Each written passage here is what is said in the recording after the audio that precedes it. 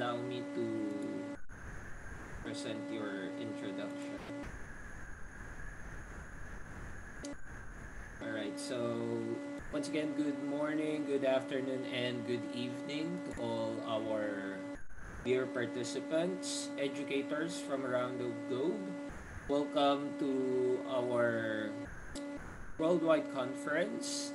And this time we have a very um, prestigious guest. We're very honored to have him here in our platform. And allow me to share my screen for his introduction. Right. So our speaker for today uh, published over 500 articles and dozens of scholarly books in the fields of literacy, language acquisition, neurolinguistics, and bilingual education. Many of these publications are available for free download at sdkrashen.com. However, he has no longer write books because as of now, nobody can afford to buy hard copies. But nevertheless, he is the most frequently cited scholar in the field of language education. And he is best known for the comprehension hypothesis, the idea that we do not acquire language by speaking or writing or by studying grammar rules. We acquire language when we understand what we hear and what we read, when we get comprehensible input. The ability to acquire language in this way does not disappear when we get older. It remains strong our entire lives. Ladies and gentlemen, Let's all give him a round of applause. Dr. Stephen Krashen. Okay, thank you. Thank you. Um, I'd like to first comment on what you see on your screen. Behind you are empty shelves. If I'm such a hero of reading, why don't I have books on my shelves? Everybody asks that, so I thought I'd tell you. Um, the reason is this the third president of the United States was Thomas Jefferson, very interesting guy. And he donated his entire, oh, my hair, oh gosh. He donated his entire book collection to the United States Library of Congress uh, after the British uh, destroyed it in the War of, I think, 1812. I don't remember. I was a young man at that time. Um, so I have also donated all of my books, about 6,000. And they're in various libraries here in the Southern California area because people my age are giving away everything. It's time to make things very compact so we can move into smaller places. That's the reason why I still think it's a great idea to read, and I still wish I had more books, but it's all on uh, digital these days. I've divided my talk into two parts. One is called Secrets of, of Writing. And let me tell you about this part um, this is not my work. This is the work of other people. I'm not going to talk about comprehensible input, acquisition learning, natural order, all those things that I've worked on for years. Instead, I'm going to report the work of other people who have worked on what we call the composing process. And I owe them a great deal. And my obligation is to tell you what they have found so you can apply it to your life as well. It has made my life not only more productive, it's made it easier and a lot more uh, pleasant. Uh, one of the people I talk about is a guy named Peter Elbow. And I, after quoting him for many years, I finally met him at a meeting where we were both speakers, and I was able to shake his hand. In those days, we shook hands. Now we, we don't do that. Uh, and thank him for all his help and I'm sure you will find it useful as well. Well, I've divided this into secrets, and unfortunately, these are still secrets. These are things very few people know about. When I look at writing programs, how they're organized, rarely are these ideas mentioned, and they're very important. Secret number one more writing will not result in better writing form. Mostly in composition classes, we have people write, write, you know, uh, two essays every week, et cetera. That doesn't help.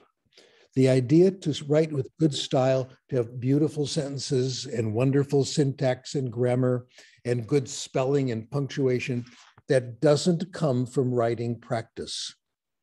It comes from reading. So that's another lecture. We're going to put that aside and talk about what writing can actually do for you. And that's secret two. Writing can do a lot. Writing helps us solve problems, and writing can make us smarter. That's my major message today.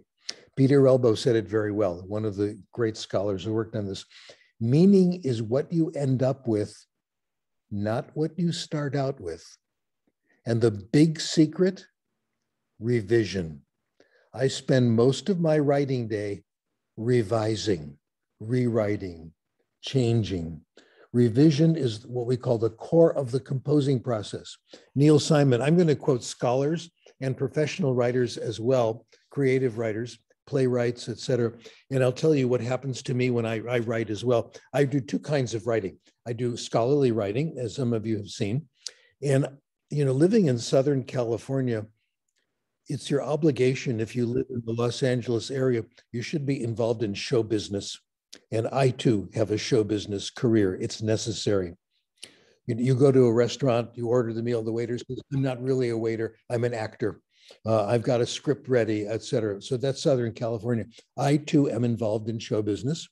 In the last 10 years, I have written 10 musicals, and all of them have been performed. How do you like that?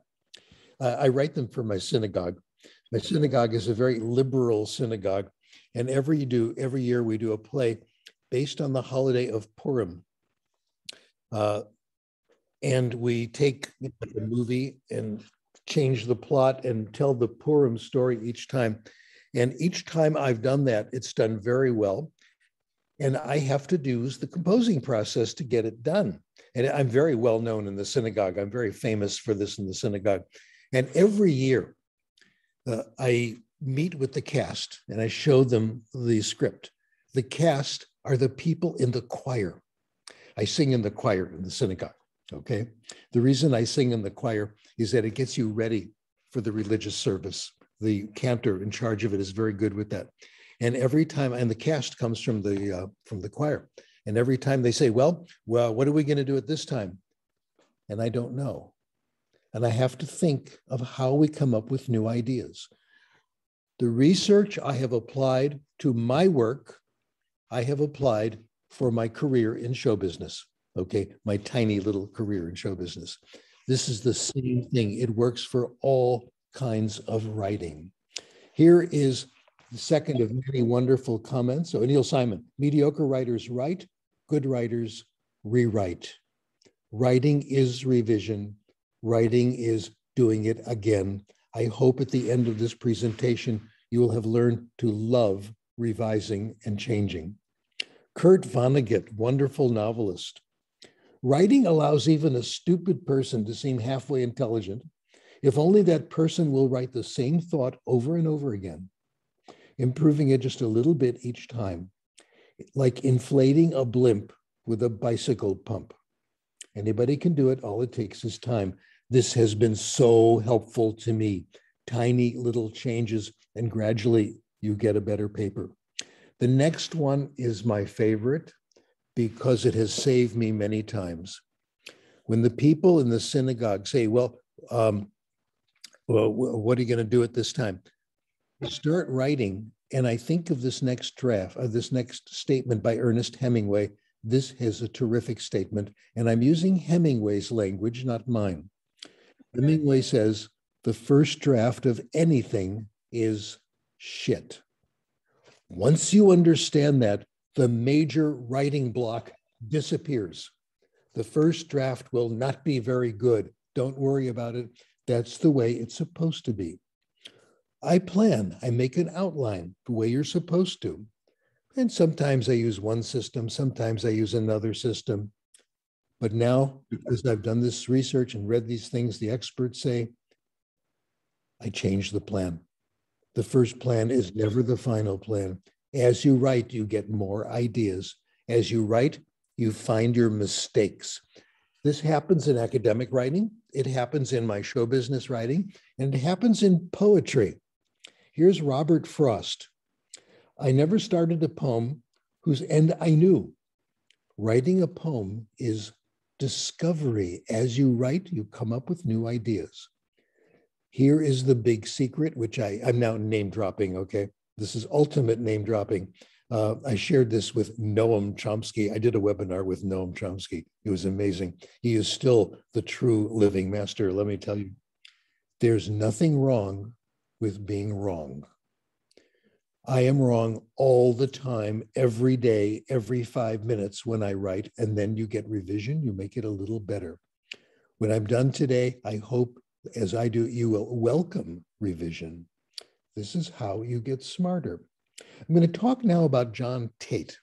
I learned about John Tate from my son and my daughter in law. My son and my daughter in law are both mathematicians. They met in graduate school at the University of Texas. And one of their professors was John Tate. And someone once asked John, John Tate was, he died recently in his 90s, brilliant mathematician. He had made powerful contributions in algebra, number theory, algebraic geometry, all these things. He was an amazing mathematician. Once at once someone asked him, "What is your writing day like?" He said, "Well, about half the time, I'm really working hard and not getting anywhere." Does this sound familiar? It's me, all right. 10% of the time, making some progress. You guys, this is John Tate one of the best mathematicians of all time. Okay. He makes progress maybe 10% of the time. I hope that makes you feel better. Then most of the time, I'm wondering how I can be so stupid most of the time. Okay. This is normal. We all go through this. Okay. Even smart people struggle and worry about it. Okay. The idea is that so many people think the good ideas just come, they just come. Uh, I got a hint of this when I was in secondary school. When I was in secondary school, we had to hand in our competition on our, our compositions on Monday. And I looked over at the student sitting next to me, and there was his paper he was ready to hand in. And he typed it in large print so I could kind of read it. It was beautiful. It looked like these thoughts just came to his mind from the other side that some wonderful spirit just dictated it and he just wrote it down. And I asked him about it. He suffered the same way I did, the same way you do. He said, You have no idea how many drafts I wrote of this paper. I tried this idea three times in other classes and it didn't work. My room at home, like, like my room, his room, was a mess with papers on the floor. This is true of everybody all the time. Uh, another case is um, Albert Einstein. Uh, there was a book about Albert Einstein, a very good uh, biography written by Hans Ohanian. I found out about it because Hans Ohanian's wife, Susan Ohanian, and I correspond a lot. She's a very important person in, in literacy. And her husband, Hans, is an expert on Einstein, wrote a book about Einstein. Uh, by the way, my son is a mathematician, and he has Hans Ohanian's book on his shelf. It's an interesting coincidence, okay, on physics. Anyway, the book is called Einstein's Einstein's Mistakes: The Human Failings of Genius. It's all about how Einstein messed up, revised, messed up, revised, messed up, revised. There's one section, my favorite part, where Einstein wrote a paper, submitted it to a journal, it was published, about the theory of relativity, full of formulas. And then the next year, he wrote another paper on the same topic. And he said, last year's paper was wrong. Here's the real solution. The next year, the same thing happened again. He wrote another paper and said, the last two are wrong. He did it four years in a row. This is Albert Einstein, you guys. It happens to them, it happens to us. I wrote, this is my moment of fame. I wrote Hans a note uh, they sent me a, a draft of the book because they knew I was interested in Einstein. It's good to have friends like this help you out. Uh, anyway, I wrote him, I, and I wrote this note. I said, "You made a big mistake. Uh, the book is should not be Einstein's mistake. The book talks about the process of discovering ideas. It's revision. They encouraged me. I wrote a comment about it, and they put it on the back cover on the paper cover that protects the book. So if you go to a bookstore and you get uh, Hans Ohanian's books, you'll see my comment. Isn't that beautiful? So the wondrous and twisted roads that lead to knowledge. Back in the old days, before we put everything on computer, uh, we used to uh, ask your parents about this. They'll tell you what we used to do is we would make copies of our papers and we put them on mimeograph and make copies and share them with our colleagues. And I had a friend who did this in linguistics, and he would put a stamp on every paper when he gave drafts around. It said, This does not represent my current position. No matter what I'm saying now, this is not the final answer. I'm going to change it. This guy really understood what is happening. So when you see a mistake in your work and you change your mind, you're in good company. We all do this. Here's Ernest Hemingway. Again, I've gotten a lot of ideas from Hemingway. Rereading, very important.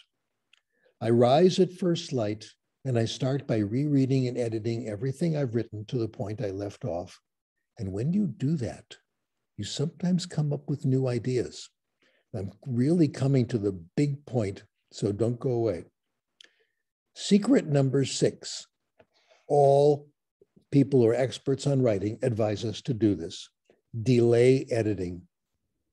The draft you are working on now will not be the final draft. You're going to make change. Don't edit. Edit means changing punctuation, changing spelling, making a change in grammar, not ideas. That's revision. But don't edit while you're writing. Wait till you're on your final version. You think this is going to be it, then you can correct the spelling. The analogy you don't put on your makeup before you take your shower. You wait you're out of the shower and you're all clean. Then you put on your makeup. That's the final editing. I would never put on my makeup before my shower. Okay.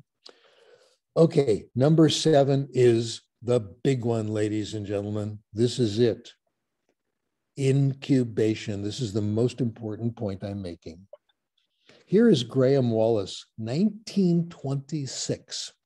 I was at the University of Texas uh, giving a talk. And as for a break, I was preparing it. I went to the library and started just browsing the shelves. In those days, you could do that before everything was digital. And I found a book by Graham Wallas called The Art of Thought. I Xeroxed every page. It was so good. I got all these nickels and dimes. Uh, we don't do that anymore, but those days. And he had a theory of problem solving, which I think is true. Says you rewrite out your ideas, then you need an interval free of conscious thought. You let your subconscious mind take over. And that's where your problems are solved. It allows the free working of the subconscious mind. This is not my idea. This is Graham Wallas in 1926. Boy, did he come up with a good one. Told all true artists, whether they know it or not, create from a place of no mind, from inner stillness. Breakthroughs come at a time of mental quietude. Oh boy. Here's my favorite Poincaré. Let me tell you about Poincaré. Poincaré was a mathematician who worked about 100 years ago. and uh, he worked in non Euclidean geometry. And his work was extremely important for Einstein's theory of relativity. In fact, the word then was that Poincaré deserved the Nobel Prize for his work in math. Actually, Einstein did not get the Nobel Prize for relativity. He got it for something else, the photoelectric effect, et cetera. But be it as it may, Poincaré was incredibly important. Every collection I have of articles about creativity has the same essay by Poincaré, which has helped me enormously, and I hope it will help you. Poincaré says, when I'm sitting doing my math and I, and I encounter a problem, which happens all the time, everybody, I then get up from the desk and do something mindless. In his case, I put some wood on the fire. Then I go back to the problem and it's a little bit clearer each time I do that. He says, I make sure it's something mindless. I don't do anything creative. Uh, I do this too. I'll give you what I do. Uh, I wash a few dishes. Uh, I wash like three, four dishes, then go back to my work. Or I clean up the office a little bit. Back in the old days, um, I'll tell my grandchildren about this. We used to travel and stay in hotels. I don't do that anymore. Now everything is all, you know, long distance and remote. But what I would do in the hotel, uh, you know, where the conf- where the uh, presentations were, the first thing I would do was take out my computer and open it up and start work. Within two minutes, three minutes, I find a writer's block. Me too, folks, everybody. I then get up, take my suitcase, put it on the bed, open it, take out one shirt and hang it up. Go back to work. That's it only takes two minutes or so, even less, to take these breaks. The subconscious mind then goes to work. I go back to my desk, just like Poincaré. Everything is a little bit clearer. At the end of the evening, I have made progress on my paper, and the hotel room is clean. I have put away everything in my suitcase. It won't get wrinkled. Okay. Uh, we're always afraid in those days when the person comes in to clean your room, they, you don't want to give them a big mess. You don't want to be embarrassed. So I do that too, um, etc. This is it. This is the important, most important part. Short breaks, doing something completely different. I know what doesn't work. What doesn't work is to work on another paper during the break, because that's the subconscious, the subconscious mind should be working on this the inauthentic labor that we do all day long, the work that we hate, washing dishes, cleaning my office, filing papers, all this stuff, that is a gift. That is time we should be incubating. I welcome those breaks now, and I no longer complain. I welcome when the kitchen is full of dirty dishes. I'm the one who does it. I don't want anybody else in the kitchen when I'm doing it. Okay because it's for me to incubate and I don't do a life, a lot of brain stuff. I do ordinary things.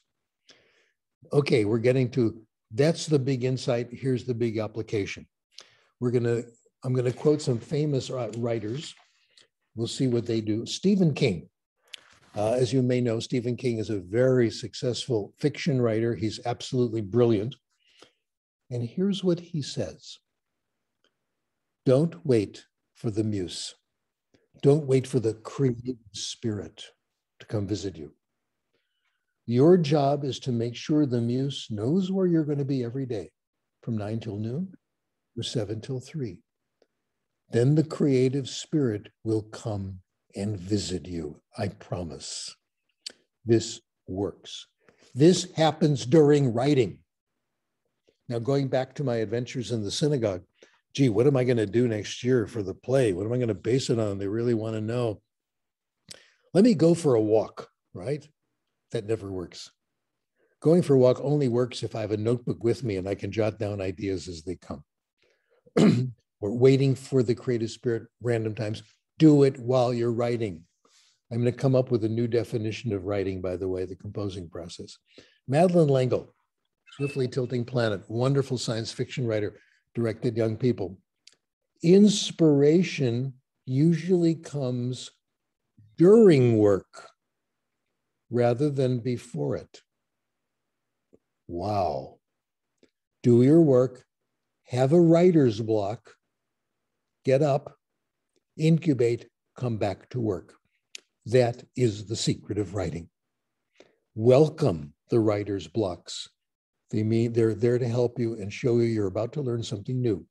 Wallace Stevens, poet, poet, he does it while walking, but look what he does. He carries slips of paper in his pocket and puts down ideas and notes as they occur to him. I cannot leave the house without a small notebook. I have notebooks with me everywhere. We went shopping yesterday, my wife and I, and I had my notebook with me. You never know when it's going to hit. They tell the story. This is in Graham Wallas. So the man who had a brilliant idea he sank to his knees to thank God and got up and had forgotten it completely. You've got to write it down or it's going to disappear. You guys all know about this, all right? Okay. Other secrets. Secret number nine, okay, our last secret of this part. Daily, regular writing. Oh boy. Um, I learned about this from Irving Wallace. Irving Wallace is a novelist and a biographer, and he's very good he got interested in how good writers write it, interviewed writers, and wrote a paper with it, co-authored with a psychologist. it was very good. Most of the writers, he said, keep some semblance of regular daily hours. It's a job. They come to work and they go to work like a job. They do it at different times. Uh, Michael Chabon, a novelist, from 10 p.m. till 4 a.m., my kind of guy, night person, okay? Maya Angelou, brilliant creative writer. She rented a hotel room near her house. Great if you could afford it. And she went to the hotel room for peace and quiet and worked there all morning. Regular time.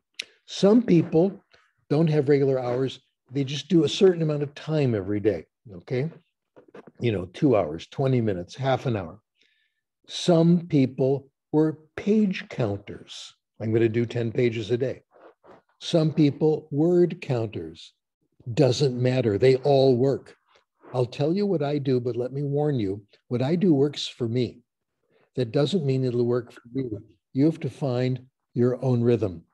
When I'm working on a big project, which is all the time, um, it's my quota is always, and I don't know where I got this number, 600 words. I like to produce 600 words, whether they're good or bad, etc. If I do 590, I feel incomplete. If I do 605, I'm getting stale. It's not working anymore, etc. So that's where I got the idea. But it's daily, regular writing, whichever of these systems you like or your own system. Wonderful research supporting this.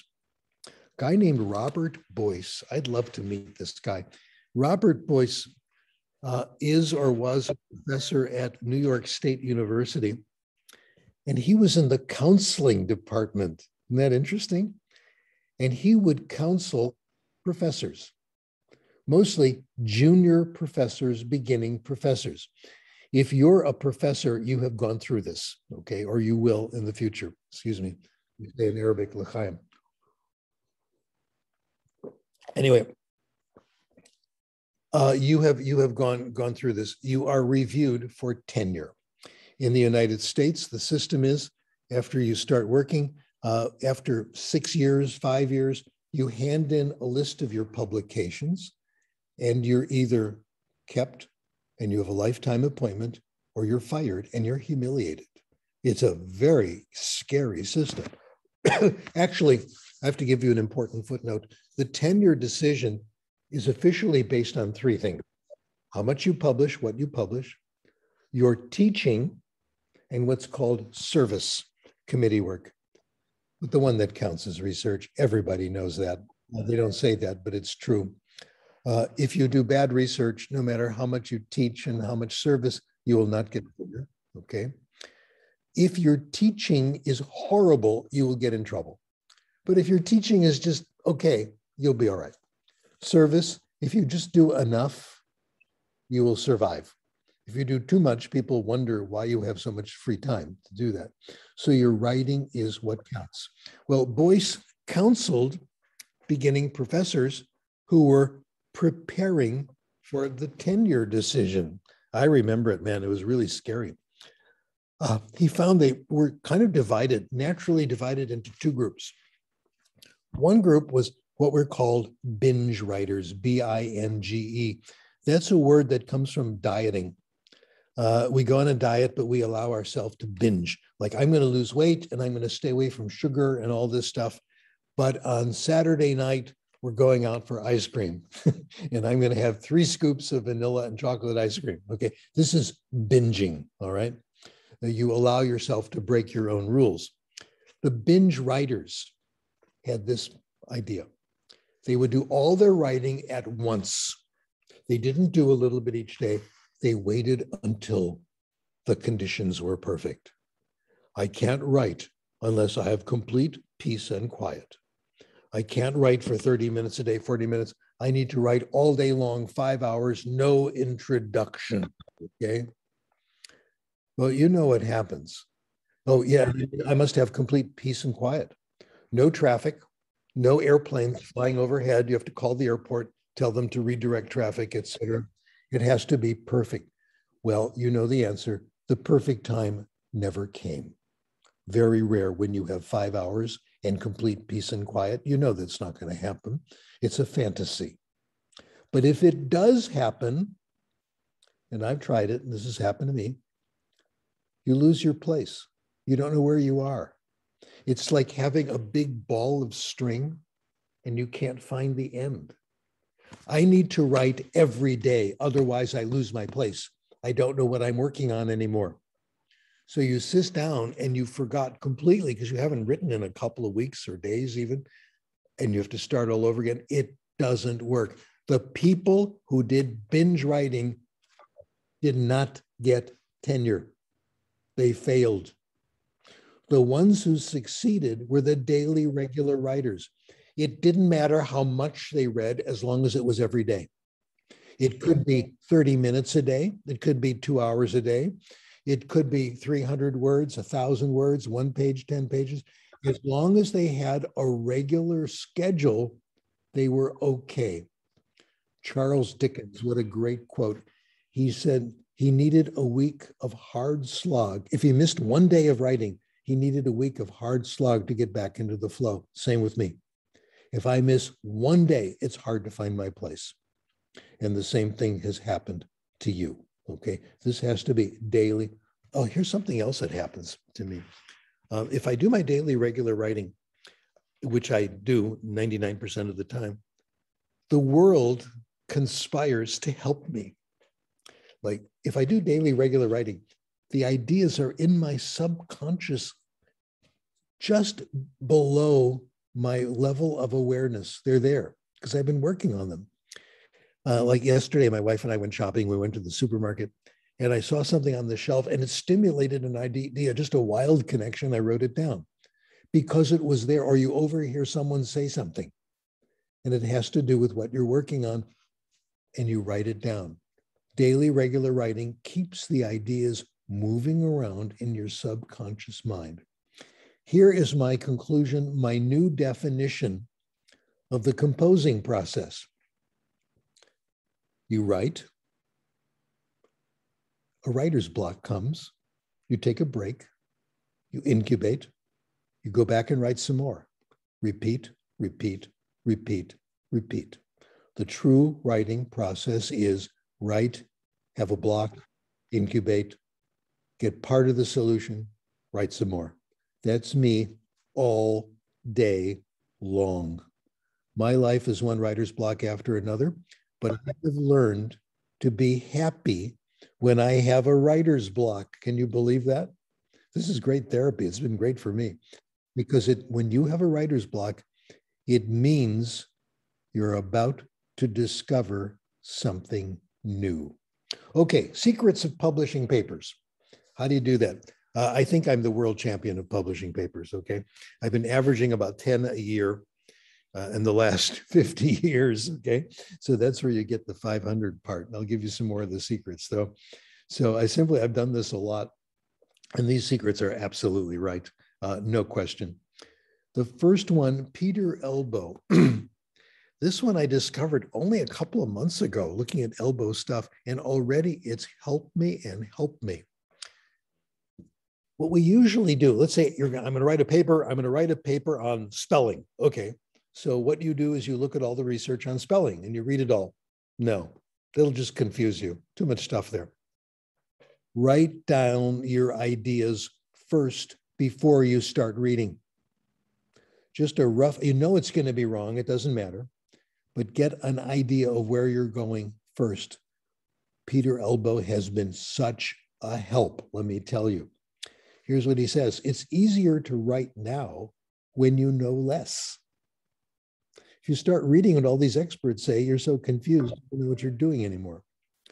After you've written a rough idea of what you think might be the answer, then read. Then see if other people were just as smart as you.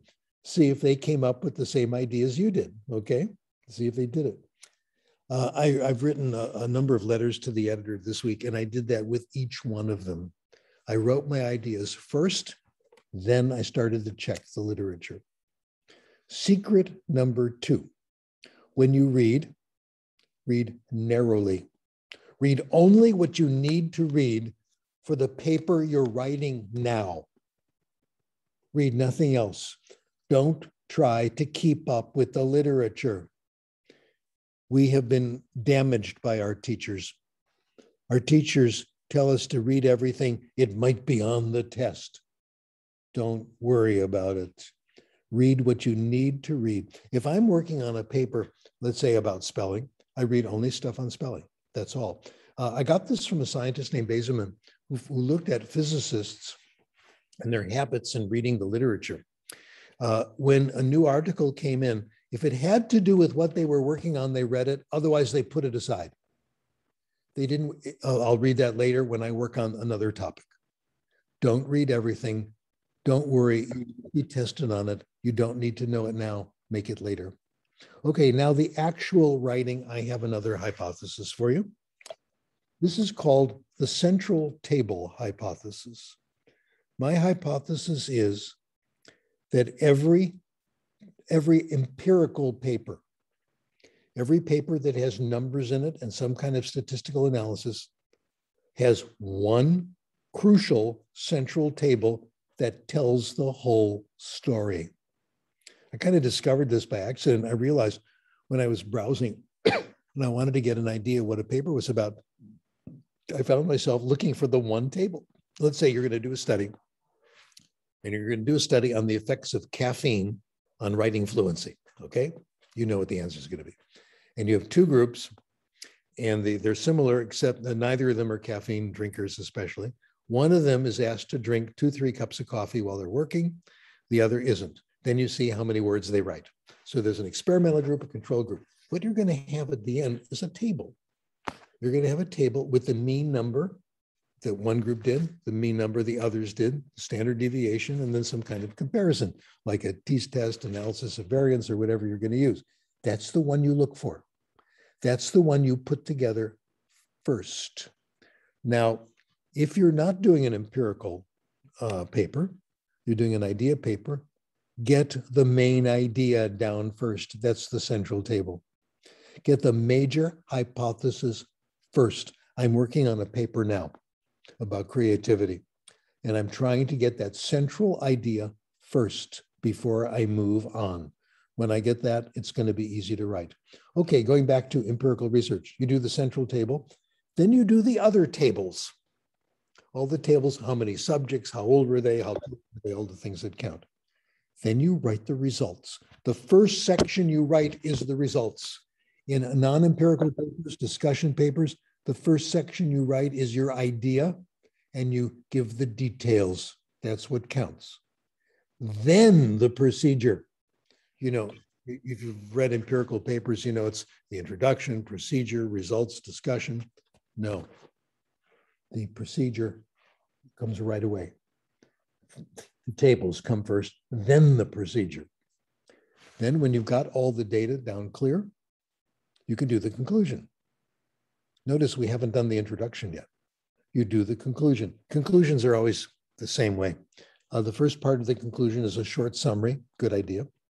Then there's a section I call apologies, where the researcher tells you everything, everything that's been done wrong, all the mistakes he's made or she's made, okay? Uh, I do that, but I keep it short. Nobody cares. Then the implications. Keep it short. Don't publish your entire dissertation. Nobody wants to read all the details. And then what should be done next? That's the shortest part. We waste so much time in papers telling people how to lead their lives.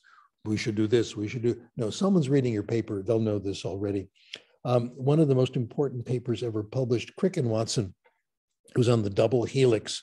That's the structure of DNA, you know, those the spiral symbol, very famous. Uh, they discovered that. They wrote this paper published in the journal Nature, which I found and I was able to download for free, which was great. It was two pages. If you remember half of your secondary school biology, you could understand the paper. It was that clear. Here was the, the section, the discussion section, okay? Very simple. It has not escaped our notice the specific pairing we have postulated suggests a possible copying mechanism for the genetic material. That was it. They didn't go into details. If you don't understand that, you shouldn't be reading the paper. Okay. So keep it short, keep it simple. When it's all over, then the introduction. Only put things in the introduction that are necessary to understand the paper. Okay, secret number four.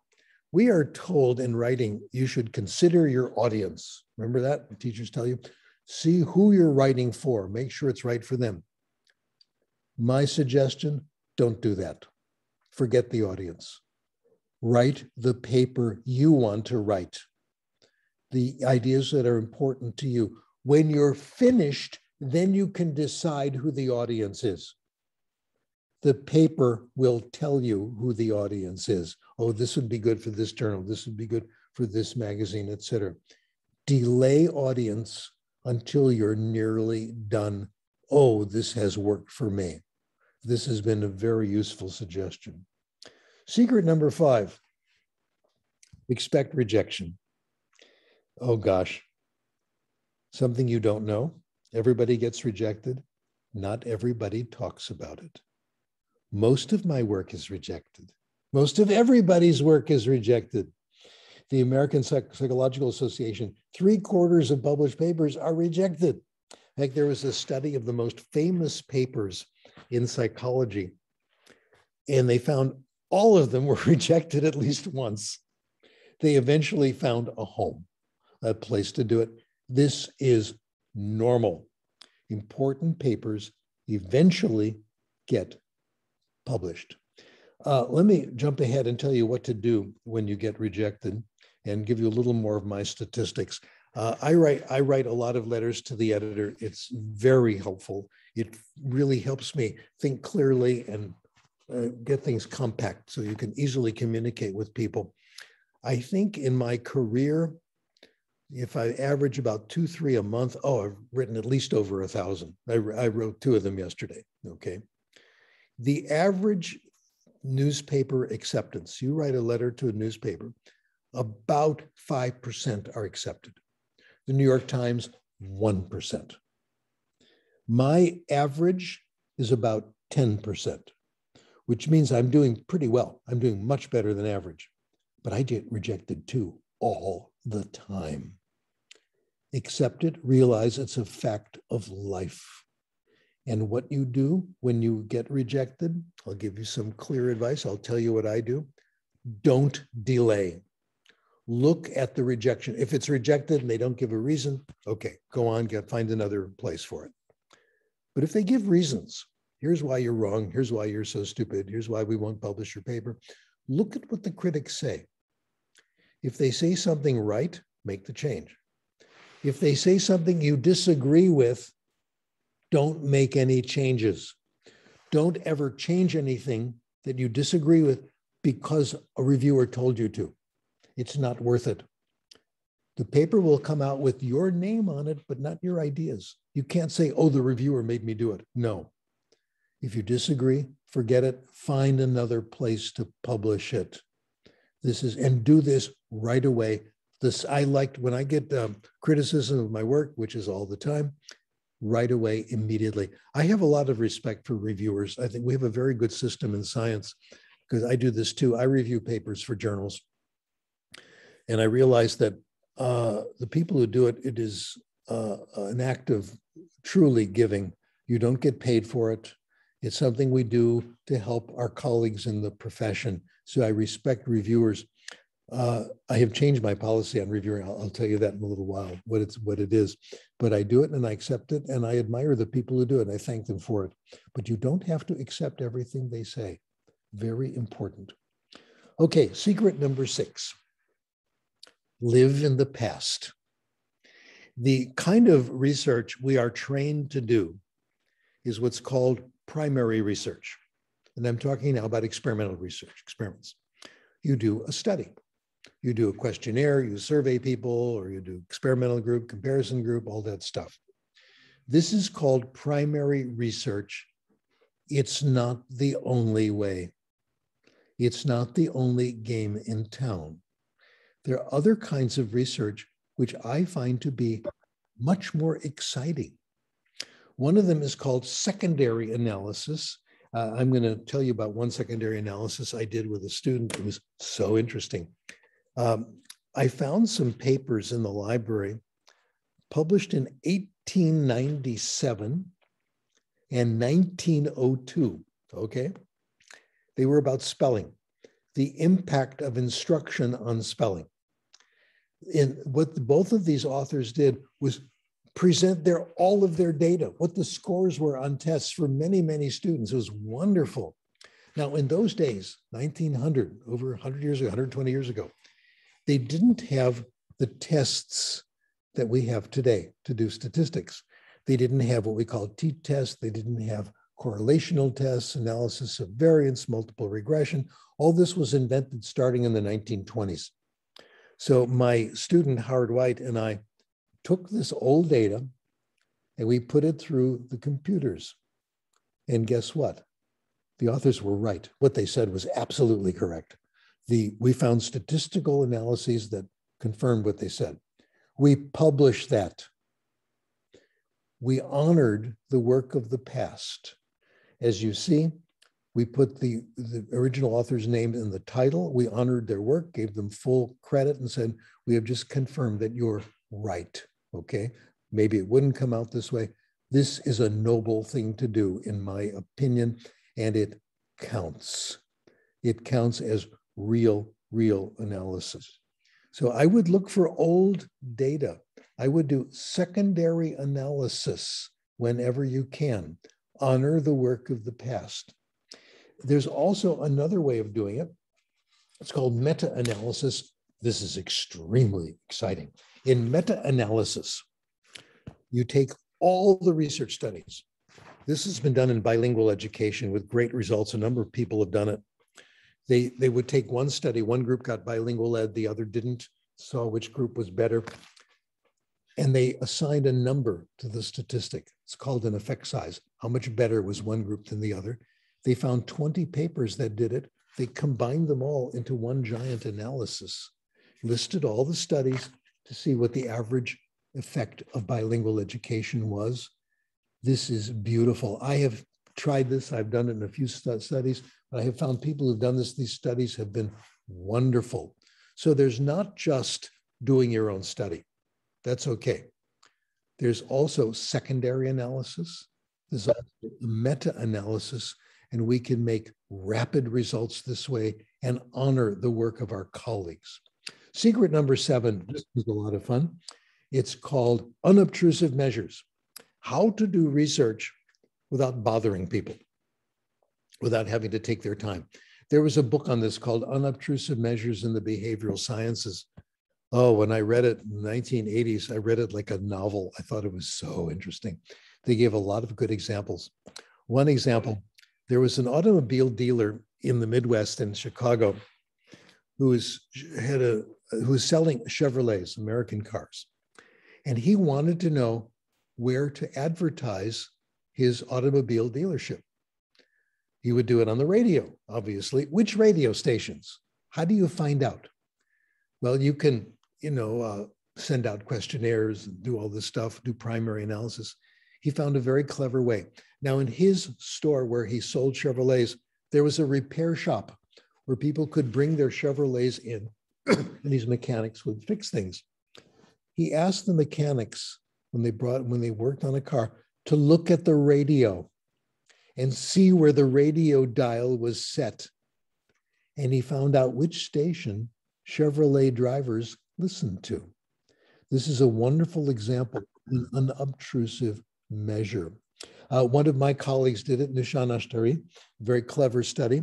Uh, her research topic was whether people read books in what's called the heritage language. Uh, the heritage language she dealt with was Farsi, sometimes called Persian. And in the Los Angeles area, there is a very large uh, Persian population, uh, something like 200,000 people all in the same area. So she was curious to know if there were books available for people to read in their heritage language. She went to some of the major libraries. She took and she found on the shelf books that were written in Farsi. There weren't that many of them, which is already an interesting result. She took them down from the shelf and she looked at the books to see where the pages were creased, where there were marks showing that people had read it, not just pencil, pencil marks, but pages that were folded, were folded down, um, etc. This had been done before in a very reliable method. She found the average person who picked up one of these books read about five pages, and then they gave up because nearly all the books were self help grammar books, and people are not too interested in studying grammar. If it had been a good storybook, it might have been different. But that's a good idea of what we call a wear and tear study, an unobtrusive measure. Okay, we're jumping to secret number nine because I've done number eight already. Beware of infatuation. We all know what infatuation is it's falling in love. Beware of falling in love. Here's what happens to me. Here's what happens to you. You're doing your research, minding your own business, and you come across an article about a different area of research. And it's interesting. I want to know more about this. I've recently gotten interested in dogs and their relationship to people because uh, our daughter, her family have a dog now. And the dog is just in love with my daughter, her husband, my grandchildren. She follows them around. She can't wait till they wake up in the morning. What is going on with dogs? And there's this hypothesis that dogs know when their masters are on the way home, even if they're 200 miles away. Okay. So I got interested in this. I started reading about it. And I thought, wait, wait a minute. This is not what I'm working on. I'm infatuated, but I've got to calm down. All right. I've got to go back to my work, what's important to me now. So I do read that stuff sometimes for entertainment. Oh, is there life after death? All these fascinating things. But stay with your work. Be careful. Uh, Keith Simonton, wonderful philosopher of science, the more successful psychologist, true in any field, is one whose research program seems to concentrate on a well defined set of interrelated topics rather than spreading out too thin. Be careful. Progress is characterized by a natural development from one group of ideas to another instead of flitting from interest to interest in an inconsequential manner. Okay?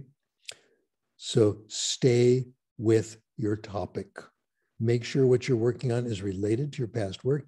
If you get an idea that's overwhelming and you're completely in love, write it down, file it. You can come back to it later but stay with the topic that you're on. And that takes discipline, I know. Well, it's now time for questions, and I am going to ask and answer the first question to make sure that it gets asked, because I think this is a big one. Uh, Aaron, is that okay if I ask and answer the first question? Good. Okay. Sure, sure. First question is this You've been working on this for 50 years, 45 years actually. Uh, but nobody's doing it. so many language classes today are based on grammar. Okay. Uh, people don't follow this advice that you've just given on writing. We do it all wrong, etc. Uh, when, why is this taking so long? And how are we going to change it? Uh, good question, and I'm glad you asked. Here's my answer. Uh, first of all, if you want to find out about comprehensible input and the power of reading and revision, we've talked about, how do you find out? It's this is hidden knowledge. That's why I call this secrets. It's also secrets of language acquisition. Very few people know about comprehensible input. So my here the reason for it is it's hard to find. It's in books and journals. The books are number one, expensive. the journals are expensive. If you subscribe to journals, most of them cost a lot of money. It, talking in terms of American dollars, a journal subscription can easily cost $50. So I've, i saw one today for 250. I don't know who can afford this. This means the only people who can keep up with the journals and the new books, which are very expensive, are people who are currently professors at first class universities with first class libraries that have privileges in the library where you can take things out for free and get them Xerox for free. Very few of us are in that position. So we must find a way of getting this done for free. My view right now, we're facing the COVID crisis. The US government has made vaccinations available for free. We have all gotten vaccinations and booster inoculations for COVID for free because it's for the common good. The same thing, my feeling is scientific knowledge should be available for. It should be freely available all the time, everywhere. The answer to this is what is called open access. That's today's vocabulary word. If we don't do open access, it's the end of our work. It all disappears because I cannot keep up with the research anymore. My colleagues can't because I can't afford the journals. I can't afford the books. Nobody can. I'm retired. I don't have library privileges anymore. Same thing. It, I, this is now real. And it's true of everyone who is not currently a professor at a big university. Open access, open access. I only submit articles to open access journals. And I have made my work available. When I write a new paper, I put it on my website and I invite people to download it for free. My website is sdkrashen.com, D for David. You are free to download my papers and several of my books and share them with anyone you like except Donald Trump. I don't do anything with him. Okay. But that, that's the name of the game. And that's what my colleagues are doing. I think we have no choice. If we don't do this, we cannot communicate with the profession. We have no other possibility. Okay, that's one reason it's not well known because nobody can afford it. Number two, papers are too long. I can't read them. I don't have time. Even if I look at papers that are friendly to me, I don't have time to read them. People write these long, long papers. Keep it short. Keep everything short. Say what you want to say. My policy on reviewing changed about five years ago. Uh, again, I think reviewing papers as a scholar is an obligation. I'm happy to do it. But about five years ago, I, I said, I will no longer review papers that are longer than five pages. Since then, I have not reviewed a single paper. All the papers they send to me are 15, 20, 25 pages, and they don't tell you what they're doing until you're up to page 10. Okay. This must change. There is no reason for it except trying to impress other people. Um, here's a wonderful quote When we ask the time, we don't want to know how watches are constructed. You don't have to tell everybody everything, simply state your piece. Number three, write clearly. The papers that we see now are filled with what Chris Hedges calls tortured prose. Our colleagues make them so hard to read. I have the same problem you do. I can't get through these things. I don't know what they're talking about most of the time, and they're too long. Here is Chris Hedges. Here's why they do it. They do it so they won't be criticized because no one understands them. As long as academics write in the tortured vocabulary of specialization of seminars and conferences where they're unable to influence public debate because no one's going to read it, they're free to espouse bizarre or radical theory. The journals are filled with incomprehensible gibberish the papers might be excellent. I will know because I don't understand them. Okay. So, my three recommendations to solve this problem make stuff available for free, make them shorter, and make them clear. The reason people publish in the, I'm, I'm attacking the prestige journals. Okay. The reason they do that is that uh, we feel you must publish in these journals, otherwise, you won't get hired and you won't get promoted because the committees want you to publish in the journals that are important, which I've stopped doing. People like me who are retired, who are already or full professor, we are the ones who have to do this. If we do this, the profession change is difficult for junior professors to do it. They need to get promotion, they need to get jobs, etc. So I'm talking now to the senior professors. We must do this, or it is the end of our profession. Okay, on this depressing note, I will stop here and ask if there are any other questions now that I've answered the big one. Thank you so much, Dr. Krashen. It was really comprehensive. The two sets of secrets that you've shared are, know, we're really overwhelmed and it's really helpful despite of the challenges that we're facing. And now, may I please call two of my colleagues uh, let's have Miss Juliana and Miss Paulina for the Q&A, please. Definitely. All right. Good morning, good afternoon, good day, everyone. This is the time for the brief open forum. Miss Paulina and I, Juliana, will be interacting with you and the audience so it's a pleasure for us to meet you today, Dr. Krashen. We have received meaningful input from you today as all the days we read your writings. Dr. Krashen, we have got some questions for you from our audience today. So we got room for at least three of them. And the first one is, is it acceptable to publish about six different articles in the same journal? What do you think about it? I hope so.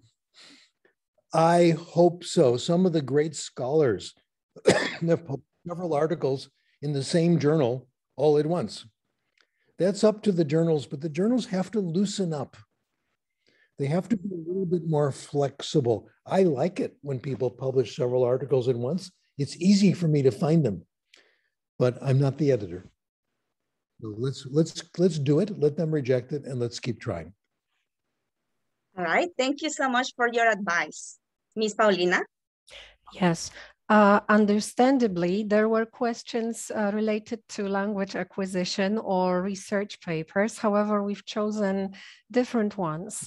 One of them is, would you say that free journals are truly credible for the readers? I hope so because it's the only journals I publish in. I refuse to publish in journals that are not freely acceptable. Okay. Again, here's the solution the solution is for senior scholars, old people like me, full professors, retired people, people with reputations to do this. So I find if say Jim Cummins, uh, one of my heroes in bilingual education, if he publishes in a journal, that gives the journal credibility. This is very good idea. So I, it's up to our better known senior colleagues to do this, then the world will change. Thank you so right. much. And the number three, I think this is general. How many pages should we write for a research paper? What are the requirements for the paper to be accepted in index magazines? Oh, that I don't know because I don't do medical stuff. So my work isn't carried them. It used to be in the old days um, when I was doing brain stuff, that was something else. It's really up to us. Some of the best, some of my papers have been one page. A short article, a short note. We don't expect readers to have background knowledge for reading every paper. If they don't understand the paper, they can look at previous papers. You don't have to repeat everything in every paper. You are not writing a dissertation. You are not writing a term paper. Keep it short and let us force the journals to change. Uh, by the way, I'll give you some sources if you want some places to look. If you look at my work, you can see where I've published, sdkrashen.com. Uh, I recommend the work of my former student, um, Jeff McQuillan. He has a nickname called backseat linguist. It's like the person sitting in the back telling you, turn left here, you know, or you're going too backseat fast. Backseat driver. Yeah, like a backseat driver, exactly. Jeff has a number of very short brilliant papers. Uh, Jeff McQuillan, my colleague Nooshan Ashtari publishes short papers. A number of people do this. So they are, I think, setting a very, very good example. Isn't it wonderful when you get a journal in the mail and you find it and it's free and there's a paper by someone you know has interesting ideas and it's two pages? Of course you're going to read it.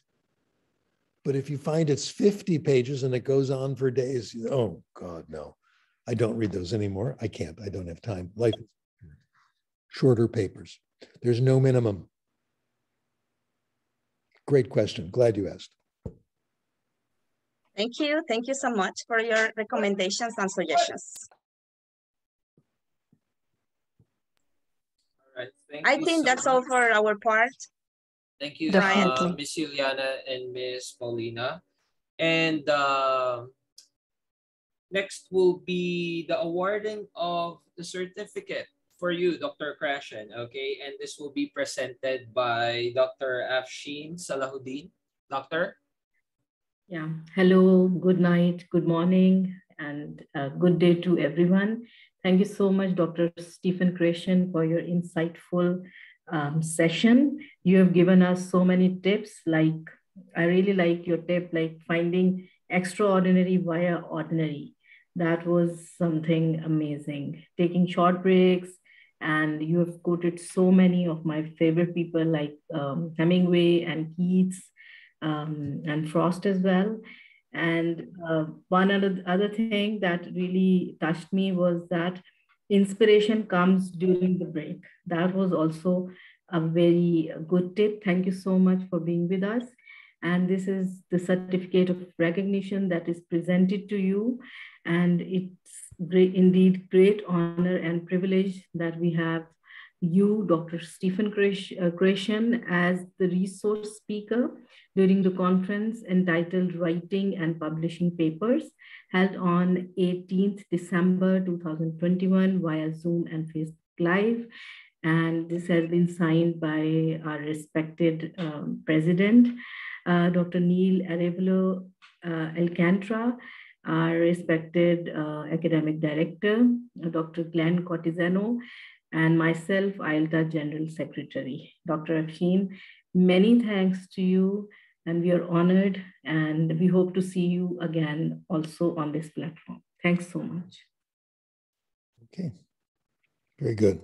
My pleasure. Thank you so much, uh, Dr. Afshin, for the certificate given to Dr. Krashen and for the awarding of certificates to the Sir event Brian, partners. excuse me. Yes, Can we Dr. have Cortizano. our photo off first Ah, yes, doctor. so that we can take much of Dr. Krashen's time so we, Right. we can have a photo op? Yes, uh, Okay. kindly open your cameras, please, so that we could have our photo off with Dr. Krashen.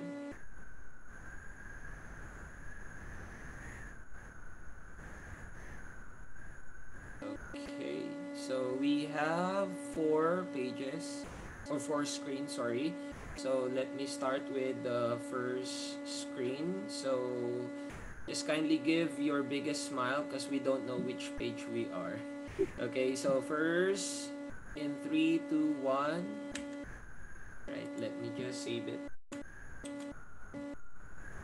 Okay, let's move to the second screen. Sorry. Okay, second screen. Right, in three, two, one, smile.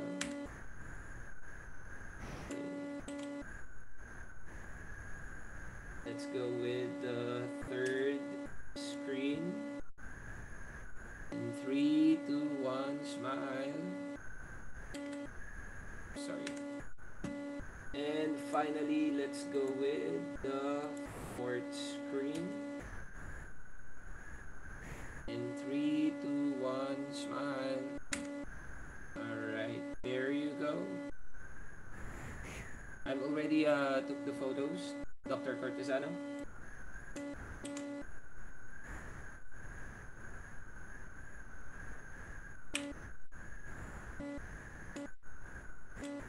Okay, and now we will proceed with the awarding of certificates to our event partners. Actually, Dr. Krashen, we have uh, different partners for this once in a lifetime event that we had just did with you.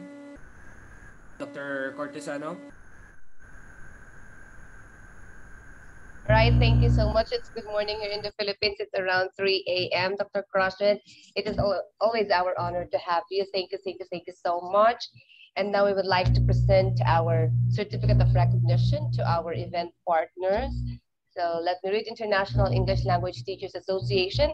Certificate of recognition is awarded to Laguna State Polytechnic University Los Baños Campus College of Teacher Education as the event partner signed by the IELTA General Secretary from Pakistan, Dr. Afshin Salahuddin, the IELTA Academic Director from the Philippines, yours truly, Dr. Glenn Cortesano, and the IELTA President from Peru, Dr. Neil, Neil Arevalo Alcantara. Next certificate of recognition is awarded to, again, International English Language Teachers Association Certificate of Recognition is awarded to Batangas State University Pablo Borbon College of Arts and Sciences as event partner. Again, signed by the IELTA General Secretary from Pakistan, Dr. Shin Salahuddin, from the Philippines, IELTA Academic Director, Dr. Glenn Cortesano, and IELTA President from Peru, Dr. Neil Arevalo Alcantara. Our next event partner certificate of recognition is awarded to Universidad de Panama as our event partner, signed by the Pakistan, uh, signed by the IELTA General Secretary from Pakistan, Dr. Afshin Salahuddin, IELTA Academic Director from the Philippines, Dr. Glenn Cortesano, IELTA President from Peru, Dr. Neil Arevalo Alcantara. Next, we have National University Laguna. This certificate of recognition is awarded to you as our event partner, again signed by the IELTA General Secretary from Pakistan, Dr. Afshin Salahuddin, IELTA Academic Director from the Philippines, Dr. Glenn Cortesano, and IELTA President from Peru, Dr. Neil Arevalo Alcantara. And of course, certificate of recognition is awarded to Pedro Ruiz Gallo National University as event partner, signed by the IELTA General Secretary from Pakistan, Dr. Afshin Salahuddin, IELTA Director from the Philippines, Dr. Glenn Cortesano, IELTA President from Peru, Dr. Neil Arevalo Alcantara. Right, thank you so much to all of the universities and associations who are our event partners for this webinar collaboration, call it webinar collab, webinar collaboration with Dr. Stephen Krashen. Sir Brian?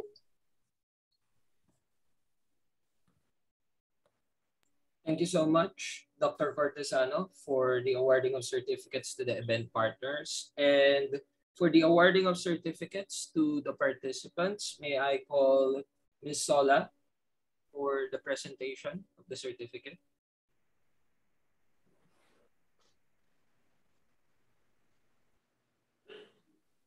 Mr. Brian, Ms. Sola lost the connectivity. All right.